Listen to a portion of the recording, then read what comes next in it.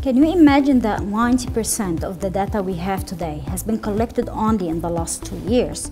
This is a lot of data. This is massive data. This is what we call big data. And when we talk about big data, you think about all of the data we have around from YouTube videos, social media interaction, from traffic data, weather data, electricity data, medical images, and all of this kind of data. So I work with this data every day. My name is Zahraa Abdullah. I'm from Monash University, School of Information Technology. And I'm going to talk today about one of the applications that's working intensively with this data, which is in electricity.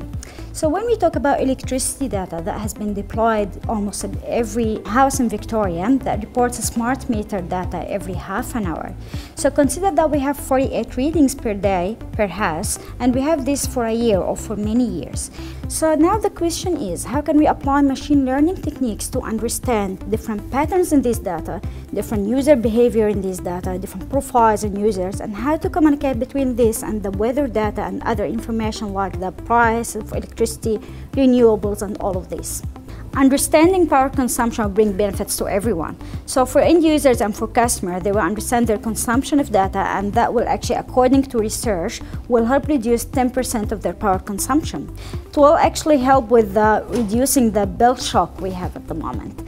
The other thing for the regulators, how they better plan for the network, how they plan for the demand response, how we actually can install the right renewables at the right place and right time. And it will help with the dynamic pricing for different times of the year and different times of the day. And this is one application of how to use data in action and many other applications on how to get the power into the data.